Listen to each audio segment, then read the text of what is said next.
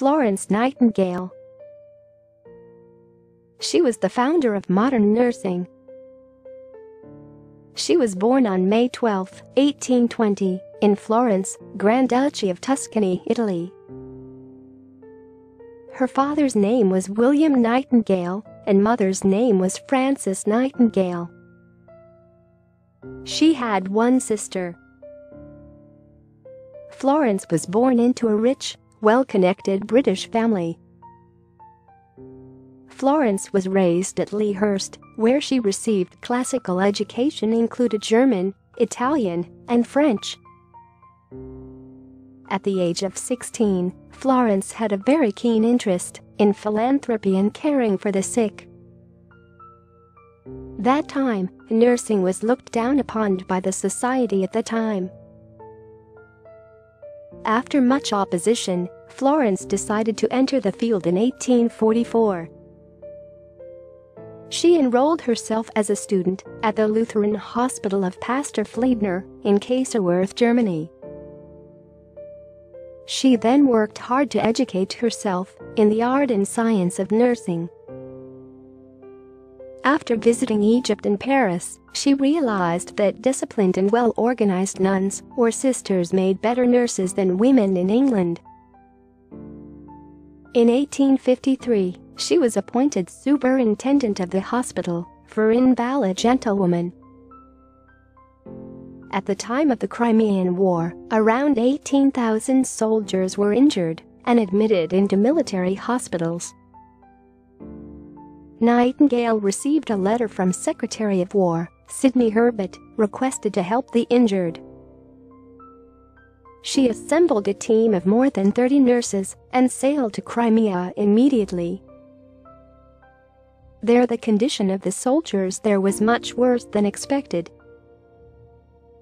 the soldiers were in a horrible state due to the lack of proper sanitation and unhygienic surroundings. The medicine supply was not sufficient. Nightingale quickly got to work and tried to lower the death rate. The war was over by March 1856. An estimated 94,000 men were sent to the war front, out of which almost 4,000 died of battle wounds, 19,000 died of diseases and 13,000 were invalidated out of the army. Florence returned to England as a national hero, but she was deeply shocked by the mass death that took place right before her eyes because of poor sanitation. Therefore, she was determined to begin a campaign that would improve the quality of nursing in military hospitals. She started investigating before the Royal Commission on the health of the Army and that resulted in the formation of the Army Medical College. In 1855, the Nightingale Fund was set up to open up a training school for nurses. By 1860, the Nightingale School and Home for Nurses was established at St. Thomas Hospital. She could not be the superintendent because of her Crimean fever, but she closely watched the progress of the institution. When the Indian Mutiny broke out in 1857, she wished to come to India and help improve the sanitation facilities. Even though she could never come, she played an instrumental role in getting a sanitary department established by the Indian government. She chose to remain a spinster as she believed marriage would hamper her calling.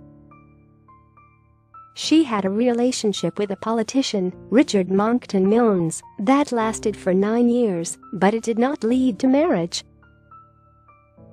She was very good friends with Sidney Herbert, Secretary of War, and had a deep relationship with Benjamin Jowett, who wanted to marry her. She was awarded the Royal Red Cross by Queen Victoria in 1883. In 1910, she was awarded the Badge of Honor of the Norwegian Red Cross Society.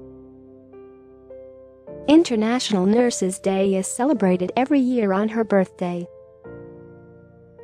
She died peacefully, at the age of 90, in South Street Park, London on 13 August 1910. I attribute my success to this, I never gave or took any excuse. Said Florence Nightingale.